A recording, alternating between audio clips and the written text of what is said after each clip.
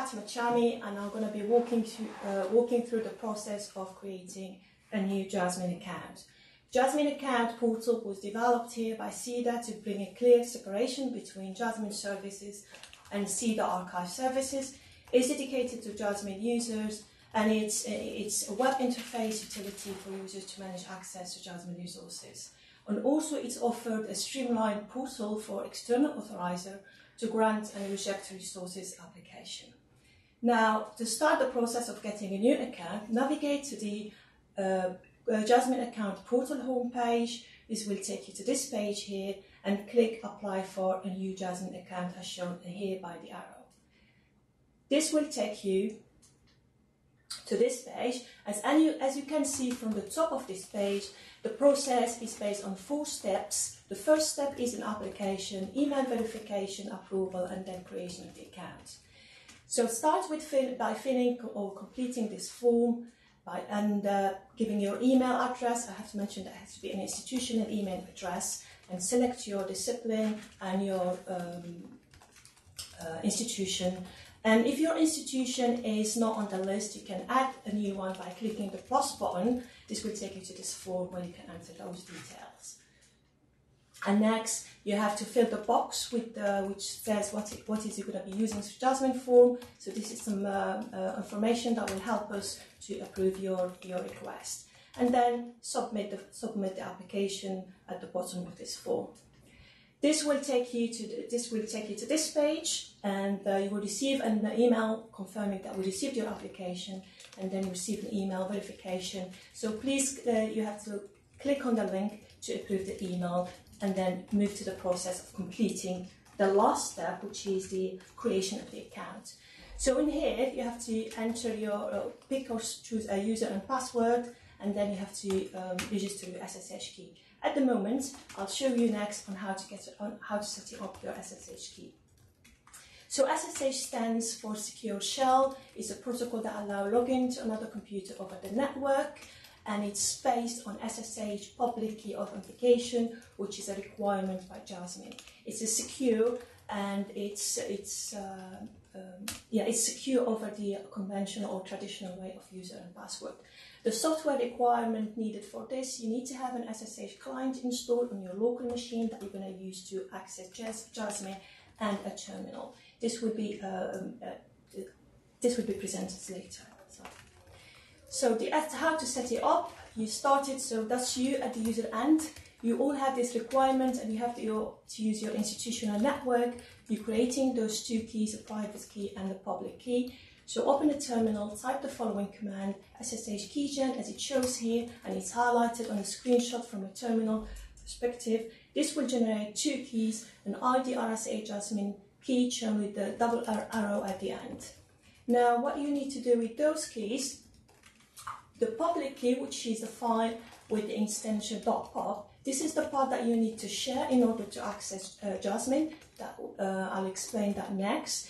And the private key should be protected and not shared. The, uh, the, the, the picture at the bottom here just shows the, uh, the public key which is shared by all JASMIN services and the private key stays with you and that will be, um, uh, when you log in, you will use it. Now, I'll go back to the previous page at the creation of the account. Now you have the key. You have to open your public file key in the text editor, copy paste the content in the box, SSH public key, and then create your account. This will take you to this page to agree to the terms and condition. So you have to just uh, press the button I agree and then your, your JASMIN account portal is created. You can proceed now to log in. Upon logging into your JASMIN account, this will take you to your profile page, which shows all the information that you've entered in your uh, application. And also, it shows you where your services are. You can also access this profile from here at the top and you can access your services from this button here or from this button here, which is the JASMIN uh, services on the, on the top of the page. Now this account has, has all the services. I'm going to move to a brand new account, which is a dummy user account here, which didn't have any services. So clicking on my services shows me that I don't have any services yet. Now to apply for services, just have to go to login services. Once you click on this on this uh, category, this will take you to this page. To, to the top page shows that the JASMIN login service, and I give you all or two information, uh, two tabs here to click, the more information and apply for access.